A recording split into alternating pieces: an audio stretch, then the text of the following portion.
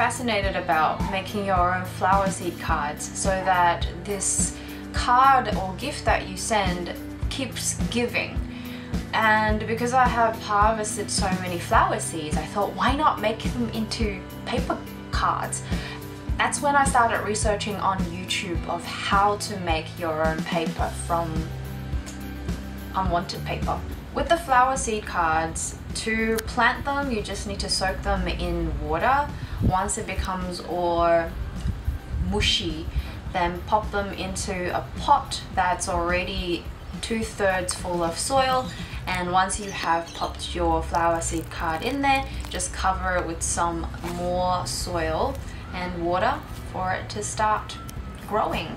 It probably will take a couple of weeks depending on the type of seeds and I have used African daisies for my first experiment. I'm still waiting for them to sprout. It's been a week and a half and nothing's happened just yet.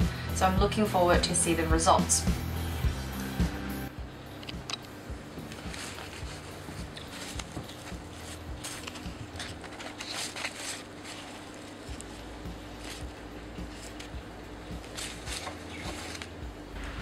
To start making the pulp, you will need a blender as well as shredded pieces of papers. Here I have used gift wrapping paper as well as my unwanted art portfolio because uh, for this specific color I decided that I want it to be green-ish for the Christmas theme.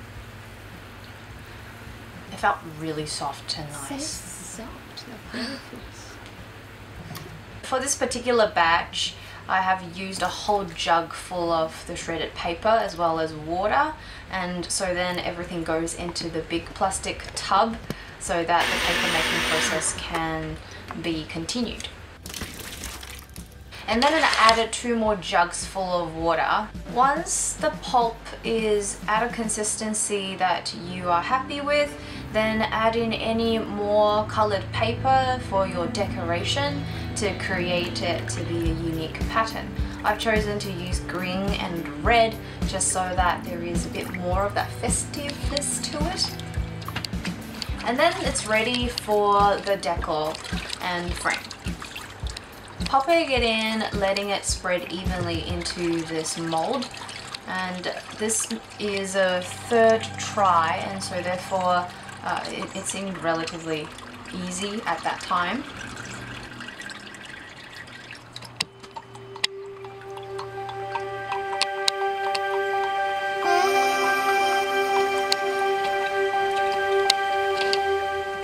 Then it would be ready to be transferred onto a sheet of cloth.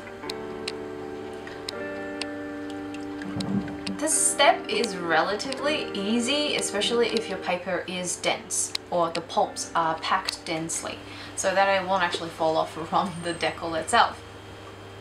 That next step is to use a sponge, really absorbent sponge, to absorb the excess water away from this sheet of paper on its back. At the same time, you are pressing the pulp to be tighter even and so that it would stick to this piece of canvas or fabric that uh, you are popping it onto.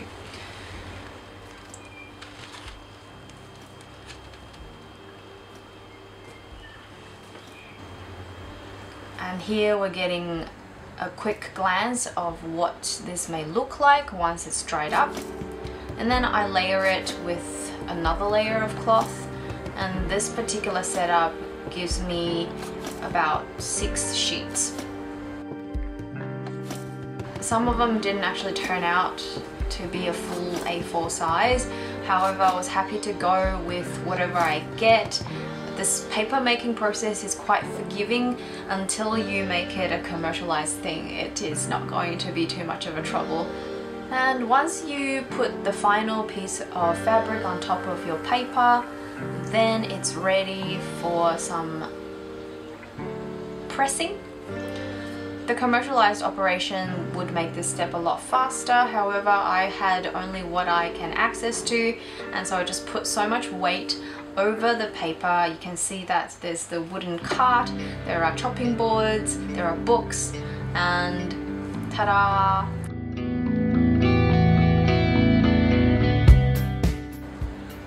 After an overnight press, then I have removed all these weights and you can see that this piece of paper has stuck nice and tightly onto the kitchen towel. But removing it was relatively easy. It's still slightly damp, so it needs to be dried further. It is such an satisfying experience to see your paper becoming closer and closer to the version of a real piece of paper and lifting it off from the cloth where it just does not break is truly truly satisfying. There were some variations of the thickness of the paper so when you pop the uh, the frame and deckle into the water, obviously the more times you do it, the thicker the paper becomes. So then I laid this piece of cardboard on the floor and just left these pieces of paper to dry, to air dry on the cardboard first. And then the final process is to press these paper inside or under a book again so that it can flatten the dried piece of paper. I do really like this green pieces that seems to just hang out and pop out the little specks. Oh, on a final note, making your own paper is such an unique experience because you are seeing this paper being created from scratch and you get to experiment with the different colors and pieces of paper that you put into your pulp to create that. What I'm mostly impressed about is how forgiving paper making process is. Even though some of the papers didn't turn out to be the, the perfect A4, there are still ways that I can use them. So it's hmm. just all up to your own creativity.